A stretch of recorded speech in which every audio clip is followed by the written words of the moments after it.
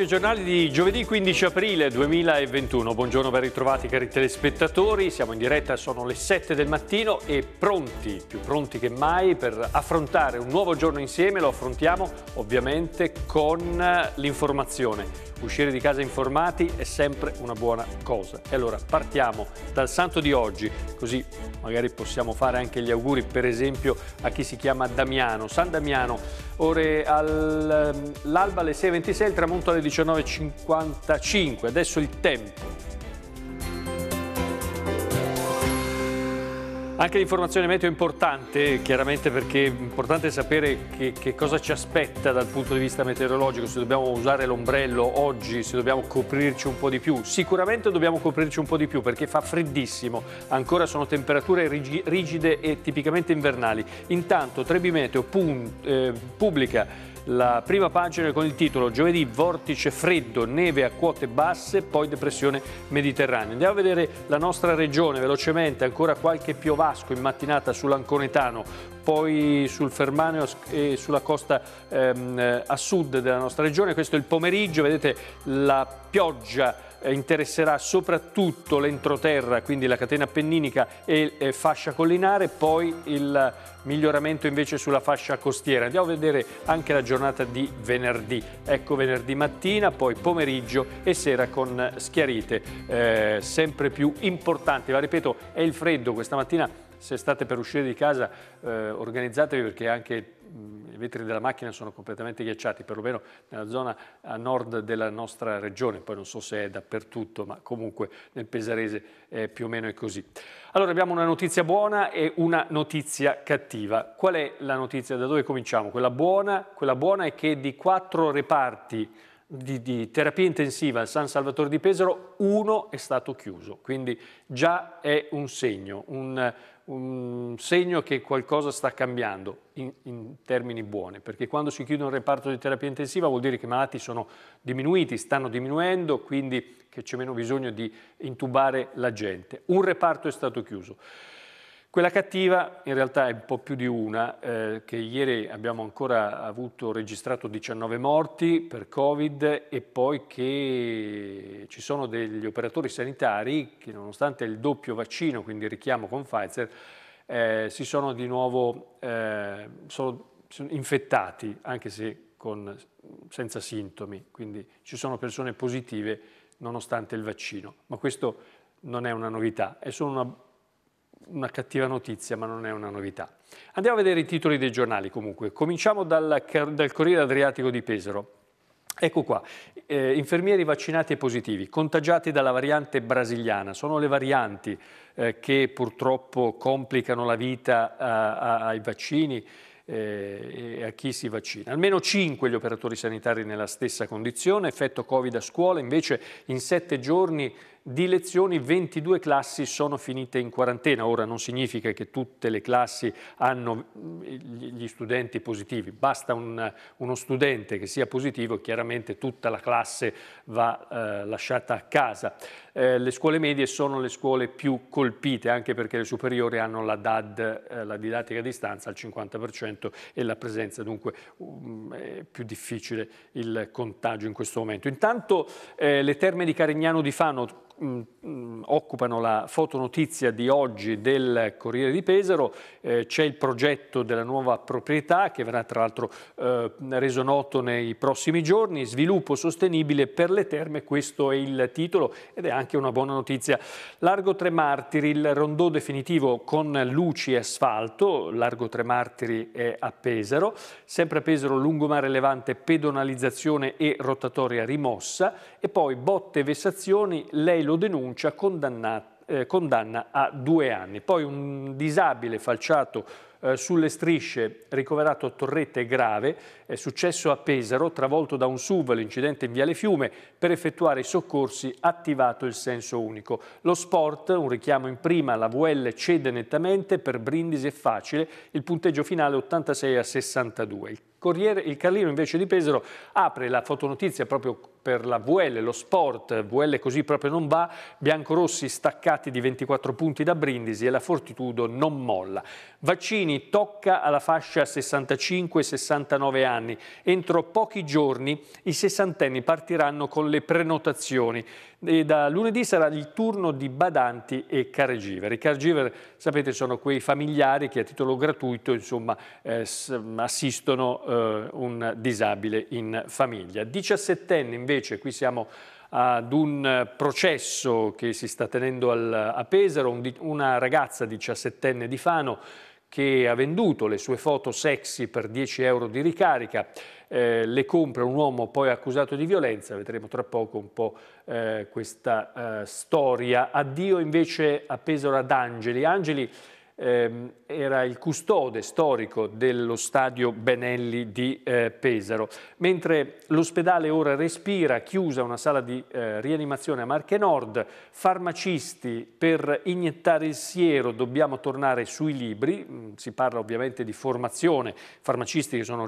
sono chiamati a, a, giustamente un corso di aggiornamento, chiamiamolo così, per eh, poi fare i eh, vaccini.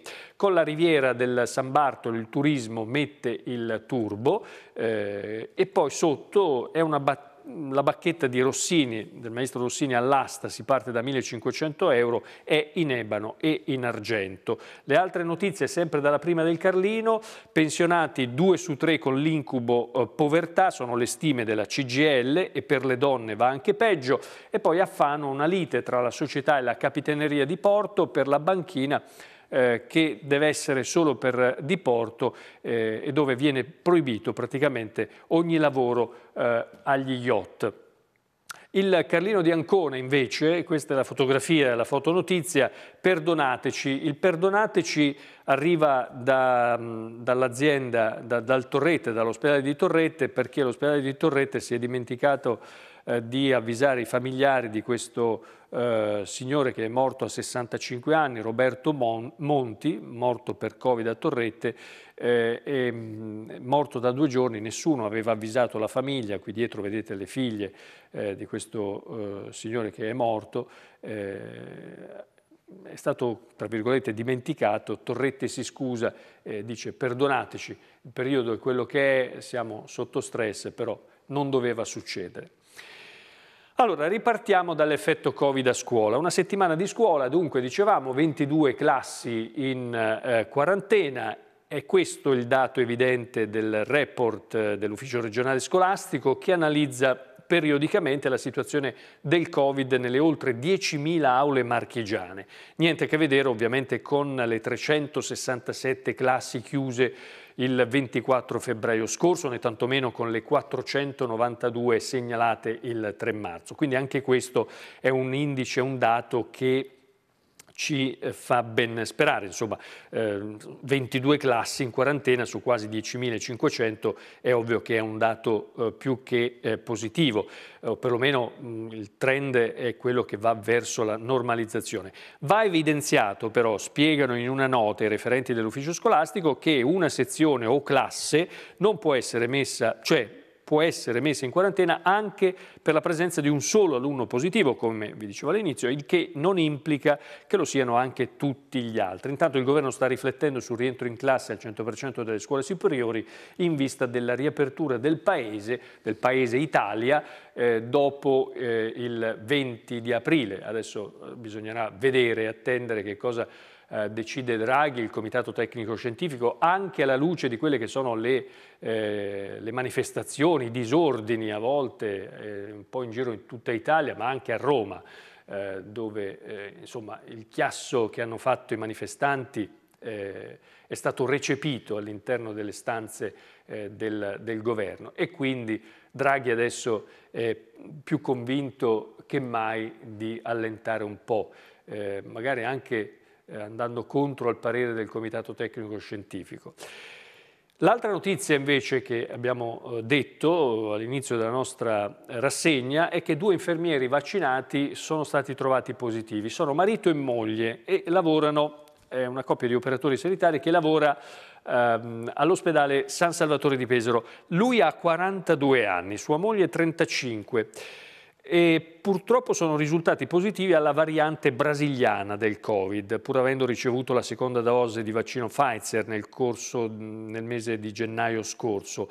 Eh, scrive Letizia Francesconi nel, sul Corriere Adriatico di questa mattina, ci sarebbero anche cinque operatori sanitari dell'ospedale nelle stesse condizioni, lavorano tutti in, sezione, in sezioni Covid. Ora, eh, di que questa coppia, eh, come abbiamo detto, colpita dalla variante brasiliana, eh, probabilmente è stata colpita, gliel'ha trasmessa il figlio di sei anni, eh, almeno dai primi accertamenti. Quindi questo contatto stretto, eh, anche perché lui, questo bambino di 6 anni, è risultato positivo a questa variante brasiliana. Ora sono in isolamento domiciliare, non hanno sintomi, questa coppia non ha sintomi, quindi voglio dire, alla fine il vaccino eh, funziona in questo senso, anche se diciamo la variante, come si dice in gergo, ha bucato il vaccino, però insomma alla fine so, i due operatori sono, sono comunque protetti. Eh, il bambino invece ha qualche sintomo, ha qualche sintomo dell'infezione, però essendo un bambino, insomma, a tempo, eh, abbiamo visto il vaccino, eh, il, il, Covid, i bambini, insomma, li lascia, anche se li colpisce, ma non, non, non, non succede niente. Intanto area di normalità si respira al, sempre a Pesaro nei reparti eh, di rianimazione, sono 4, eh, Benedetta Iacomucci, questa mattina sulle pagine, le colonne del Carlino, dice, scrive, è stata chiusa ieri una delle quattro terapie intensive di Marche Nord, la decisione è stata presa nel corso dell'unità, di un'unità di crisi dell'azienda ospedaliera che ha preso atto da un lato dell'allentamento della pressione sui reparti ad alta intensità e dall'altro della necessità anche di trovare spazi per i pazienti affetti da altre patologie, non dimentichiamocelo mai, eh, che invece in questi giorni affollano il pronto soccorso. Poi c'è anche un altro dato positivo che è il ritorno a Muraglia del reparto di malattie infettive che invece era stato trasformato in medicina subintensiva eh, il 23 eh, marzo scorso e quindi anche questi sono segnali di un lento eh, ritorno alla normalità. Eh, lo abbiamo già vissuto rispetto all'anno scorso, però con le varianti in azione eh, questo ritorno è un po' più lento a mio avviso, ma comunque eh, l'importante è che si vada verso quella direzione. Poi io non ve l'ho mai detto in questi giorni, ehm, durante il commento alla stampa, ma è chiaro che eh, quando si parlava, qualcuno, anche noi l'abbiamo detto, anch'io l'ho detto, se questo vaccino fosse nato o meno in laboratorio o fosse di origine naturale, come la Cina sostiene battendo i pugni, eh, io leggendo in giro eh, anche documenti spacciati per riservati, insomma, eh, qualcuno sosteneva, io lo sostengo allo stesso modo, che questo virus eh, arriva da un laboratorio. Eh, ora, se il, questo virus è un virus da laboratorio, come sostiene anche Ilaria Capua, l'ho sostenuto sulle colonne del Corriere della Sera qualche eh, giorno fa, il problema è serio perché eh, è un virus potenziato in laboratorio e non è un virus naturale. Se è così, ovvero potenziato, sono, eh, sono problemi seri perché vuol dire che questo virus ce lo terremo ancora per tanto, tanto tempo ancora. Se invece è naturale, allora come tutti i virus naturali, probabilmente il nostro corpo si adotterà, si adatterà e di conseguenza dovrebbe scomparire nel prossimo, o perlomeno dovrebbe convivere con, con noi, ma senza fare tutto questo macello. Ecco, questa è un po' la strada. Non l'abbiamo mai affrontato, lo, lo lasciamo qui, lasciamo stare il discorso del virus potenziato, cerchiamo di essere in qualche modo ottimisti e sperare che a settembre le cose siano eh, migliori. Dubito, ma comunque vediamo, Andriamo, andiamo avanti. Eh, Covid in classe, avvisati, in, uh, avvisati, una settimana dopo. Qui è ecco, Tiziana Petrelli, invece sul resto del Carlino, eh, racconta di una nonna eh, che giustamente è preoccupata perché è una nonna di 73 anni di Saltara che dice, ehm, che dice così, eh, mi hanno avvisato, ci hanno avvisato che eh, la classe era in, eh, in, quarantena una settimana dopo eh, che c'è stato questo contagio. Ora, da ieri una classe seconda della de seconda media di, di, di, Saltara, Leopardi di Saltara, è in quarantena. A fare scattare i domiciliari e la DAD per tutti questi ragazzi di Colli al Metauro è stata la positività di ben due compagne di classe. Hanno il Covid dal 7 di aprile ovvero dal primo giorno del rientro a scuola in presenza, dopo il periodo di DAD in zona rossa. Non hanno fatto in tempo a rimettere i piedi a scuola, il piede a scuola, che dal giorno dopo erano isolati di nuovo in casa. Ma a noi la comunicazione è arrivata solo questa mattina, cioè ieri, racconta preoccupata una nonna di 73 anni. Il mio nipotino che abita con me, ecco qui il problema, il mio nipotino che abita con me frequenta la seconda media alla Leopardi. Questa mattina ci ha chiamato l'ASUR per dirci che questi bambini sono tutti in quarantena. Ora, che la comunicazione ci arrivi dopo una settimana, ok, mi pare assurdo soprattutto per il periodo nero che corriamo. È una trascuratezza che può essere rischiosa. Di fatto la preoccupazione di questa nonnina di 73 anni è più che legittima perché la nonnina manda il, il nipotino a scuola tranquillo. E in realtà poi viene a scoprire che, eh, che, questo, che questo nipotino è stato a scuola con dei bambini positivi. Quindi, insomma, è qui... Eh, la preoccupazione chiaramente sale perché a quel punto eh, adesso bisogna aspettare sperando che insomma, non ci sia stato nessun tipo di contagio, ma ecco, questo per dirvi che anche in casa lo abbiamo detto più volte a costo di essere antipatico, ma anche in casa bisogna mantenere le distanze e se possibile anche le mascherine. Non se possibile, basta volerlo. Io tengo la mascherina, per esempio, anche quando sono dentro casa. E, e, sono un marziano, però è così, non c'è niente da fare. Screening a scuola, altri 910 test, il comune ora tace sui positivi. Dopo le incertezze degli ultimi giorni, qui siamo sulla vicenda di Pesaro. Eh, Pesaro sta facendo questa operazione contro eh, tutto, o meglio contro eh, il parere della Regione, che si è sempre detta invece contraria a fare questi test agli studenti. Eh, Pesaro ha voluto andare avanti, caparbiamente con il sindaco Ricci in testa, ha fatto tutti i test mh, rapidi ai, a, agli studenti, altri 910 test li ha fatti nella giornata di ieri. Eh, però a differenza delle altre volte, questa volta il Comune di Pesaro ha deciso di non dichiarare quanti positivi tra questi 910 test veloci ci sono tra gli studenti sotto, che si sono sottoposti al test. Perché?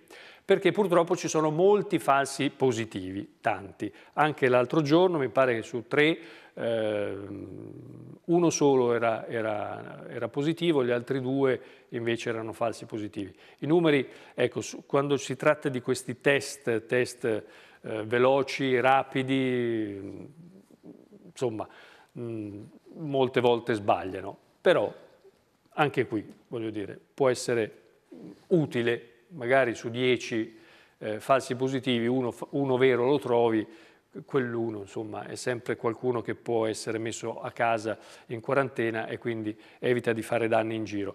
Però ecco, mh, ecco perché la Regione probabilmente ha preferito non spendere troppe energie, troppi soldi per fare test rapidi che poi alla fine eh, non danno risultati certi. Voi immaginate se al posto di fare i test rapidi nelle scuole di Pesaro l'avessero fatto in tutta la regione Marche avremmo avuto non 20 come l'altro giorno falsi positivi, ma 200, 2000 e sarebbe stata una barzelletta, quindi giustamente meglio così. Li ha fatti Pesaro e va bene. Allora adesso invece dalla cronaca dell'Emilia Romagna e Marche, vaccinati i nonni, ora si parte con i sessantenni, immunizzati eh, quasi il 100% degli over 80, dai prossimi giorni si comincia anche con i più giovani. Ecco una guida utile. Eh, da lunedì possono prenotare sul portale delle poste anche quei familiari che assistono persone eh, con eh, handicap a casa. Eh, poi i medici di famiglia sono pronti questa volta davvero ad entrare in campo, i disabili ci sarà un tour de force per chi è in difficoltà e insomma si parte con i sessantenni. Ora la domanda è, perché è chiaro, Ma con quale vaccino? Perché? Perché a pagina 3 di, eh, del Carlino di oggi eh, leggiamo basta con AstraZeneca e Johnson Johnson. Quindi di quattro eh, vaccini eh, su cui potevamo, dovevamo puntare per vaccinare il mondo intero, adesso ne abbiamo eh, due. Vabbè, poi c'è il vaccino cinese, non lo contiamo, il vaccino russo per ora lasciamolo in panchina, ma comunque AstraZeneca e Johnson Johnson in questo momento hanno vita dura. Speravamo su Johnson Johnson, in realtà eh, gli Stati Uniti hanno bloccato eh, questo siero, l'hanno bloccato anche in Europa, pratica di mare ne è arrivata una, una scorta ma è già lì ferma e non so eh, a che punto, fino a che punto potranno essere utilizzati. Comunque la notizia di oggi è che l'Europa punta sui vaccini più innovativi. Quindi che significa che anche quello italiano che si sta sperimentando, tentando di sperimentare insomma, lo Spallanzare di Roma, anche quello già nasce vecchio di fatto perché eh, è, è, vecchio stile, è una cosa che, che probabilmente sulla, su, sulla quale l'Europa non punterà. Allora, dal 2022 infatti solo farmaci con RNA messaggero. La von der Leyen dice per, eh, sono più efficaci contro le varianti e ordina subito 50 milioni di dosi. Pfizer anticipa le consegne, all'Italia 7 milioni di fiale aggiuntive nel trimestre, il siero Oxford sarà limitato agli over 60, cioè AstraZeneca sarà limitato agli over eh, 60. Ehm, e dunque mh, questa è diciamo, la notizia più, più importante nel 2022 eh, insomma, quindi parliamo del prossimo anno, non domani mattina, il prossimo anno la Commissione europea punterà sui vaccini RNA messaggero e quindi su Pfizer BioNTech Moderna e sul futuribile CureVac eh, ancora non approvato dall'EMA. A spingere in questa direzione in particolare la Germania che ha ben due eh, BioNTech e CureVac eh, delle aziende produttrici. Nel frattempo, in attesa di capire come utilizzare Johnson Johnson, si andrà avanti in, prima, in primis con Pfizer, poi con Moderna e con AstraZeneca a scartamento ridotto, sostanzialmente solo quindi per gli over 60 e come seconda dose per chi ha avuto la prima. Quindi AstraZeneca eh, solo per chi ha più di 60 anni e per chi ha già fatto AstraZeneca con la prima dose, ok? Solo, solo per questi. Gli altri faranno tutti evidentemente Moderna e eh, Pfizer, poi bisognerà vedere Johnson Johnson e, e tutti gli altri, ma insomma... A Lunano invece, Lunano piange l'ex sindaco Salvatori, fascia tricolore per 14 anni di fila, era ricoverato per Covid a Pesaro, il commosso omaggio di cittadini e istituzione, Sandrone ha lottato per il territorio. Niente riservisti a Senigallia invece, si scorre la lista per le dosi in più, non ci sono code per i vaccini avanzati, a fine giornata vengono anticipate le prenotazioni, quindi se qualcuno ha intenzione di fare come quella donna di 53 anni di Porto Recanati, di andare in fila e di sperare in Dio, ecco, non si spera in Dio, non si spera neanche nel fatto di essere lì magari da un'ora ad attendere qualche, qualche buon sanitario che eh, faccia eh, la, la, la, il siero eh, per non sprecarlo, non funziona così, quindi i riservisti eh, in questo momento non eh, esistono. Eh, non, non, ci saranno. Il saluto del procuratore generale eh, Sottani va via. Sergio Sottani lascia le Marche dopo quattro anni passati al vertice della Procura Generale. Il magistrato è stato nominato ieri dal plenum del CSM, nuovo procuratore generale di Perugia mentre un disabile falciato sulle strisce da un SUV a Pesaro vola e piomba sull'asfalto. È gravissimo l'incidente in Viale Fiume, per effettuare i soccorsi è stato attivato anche il senso unico, adesso quest'uomo è ricoverato al Torrette di Ancona. Invece da Fano una ragazzina di 17 anni che ha venduto le sue fotografie Osè per 10 euro di ricarica. Eh, ieri in aula la testimonianza di una ragazza fanese presunta vittima di violenza sessuale, stalk e minacce da un da parte di un 48enne eh, pugliese. Si erano conosciuti su Instagram, eh, lei aveva pubblicato delle foto, quest'uomo le ha viste, hanno cominciato a chattare, a scriversi, eh, hanno deciso poi di incontrarsi, si sono incontrati prima in un albergo di Pesaro dove hanno fatto quello che dovevano fare eh, e poi in un albergo di Riccione. Fin qui tutto bene, lei si faceva ricaricare, si faceva pagare i vestiti, eccetera, eccetera. Poi a un certo punto lui è diventato geloso, la storia è andata a finire male e quindi lei ha deciso di denunciarlo. E adesso tutto prosegue in tribunale. Anni da incubo, eh, ancora violenza sulle donne, tra botte e vessazioni, la donna racconta tutto e lo denuncia, lui 54 anni, ieri è stato condannato a oltre due anni, dovrà curare il suo alcolismo. Centinaia in coda invece per un pacco di cibo. Qui siamo a Fano. Prima della pandemia erano meno della metà. Ora a Rosciano sono quasi mille le persone assistite dai volontari di eh, Domomia. Spero si legga così e che si dica così. È l'articolo di Marco Del Rico questa mattina sul Resto del Carlino con le fotografie che indicano un po' uno spaccato della vita eh, di tutti i giorni. Magari una vita eh, non alla luce del sole, sembra quasi. Eh, se pensiamo che al Colma, qui dove c'è la fila per per prendere appunto questo, questo, questo, cibo, questa frutta, eccetera. Eh, poco più là c'è un'altra coda che è quella della gente che si va a farsi vaccinare oppure quella eh, che si va a farsi tamponare per vedere se è positivo o meno. Ecco, un, il COD è diventato un po' il centro della speranza, un po' un centro eh, dove un tempo si facevano solo le feste, si ballava in modo spensierato, adesso invece è diventato un centro eh, Chissà come diventerà tra, tra, qualche mese, tra qualche anno, quando sarà tutto finito, quel centro, che è molto bello. Eh, dalle terme sviluppo sostenibile per il settore turismo e wellness. Eh, la nuova proprietà annuncia con il rilancio la crescita di occupazione ed economia. La presentazione eh, di questo nuovo progetto per le terme di Carignano sarà fatta a eh, praticamente a giugno. È morto invece Giovanni Angeli, il custode dello Stadio Benelli a Pesaro, deceduto per Covid a 82 anni. Aveva curato anche i campi da tennis del Curvone. Sabato alle ore 10 il funerale. Eh, intanto il rosario è domani alle 18 a Villa San Martino dove il funerale è previsto per sabato alle ore 10.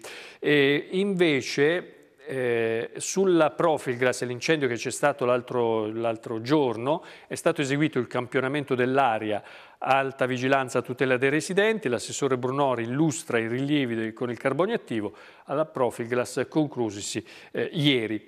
Poi non faremo passare la fusione, invece le minoranze ora avvisano seri, la politica, Lega, Movimento 5 Stelle fanno città ideale, si arroccano sulla difesa di Aset, il PD è nell'impasse. Siamo in chiusura, largo Tre Martiri a il rondò dunque diventa definitivo, cambiano anche le luci, l'asfalto e le aiuole, Belloni dice l'area sarà predisposta per l'eventuale prolungamento eh, della ciclabile e poi a Calcinelli, guardate questa fotografia, è la ripresa video che ha incastrato il teppista di Calcinelli, il teppista che è entrato in azione alla scuola primaria, un ventenne ha tagliato il gazebo all'ingresso, è stato individuato e adesso nei guai anche un writer minorenne. Eh, il lungomare a Marotta più accogliente e vivibile, primo step per il nuovo piano eh, della spiaggia e poi eh, da Pian di Meleto il racconto di quest'uomo che ha 104 anni e, e che cosa fa? Intreccia i canestri. L'incredibile vitalità di Ermenegildo Costantini di Pian di Meleto, quando finì il militare fu chiamato e spedito a Fiume per cinque anni e adesso eh, lavora a casa eh, un cesto di vimini eh, e ha festeggiato insomma i suoi oltre 100 anni. Bene, c'è anche lo sport, ma non abbiamo tempo. Io vi saluto, vi ringrazio per l'attenzione. Vi ricordo che questa sera, dopo il telegiornale delle 20.30, avremo un approfondimento in studio, in pronte femminile, con l'assessore alle pari opportunità del Comune di Fano, Sara Cucchiarini. Grazie per averci seguito. Buona giornata a tutti.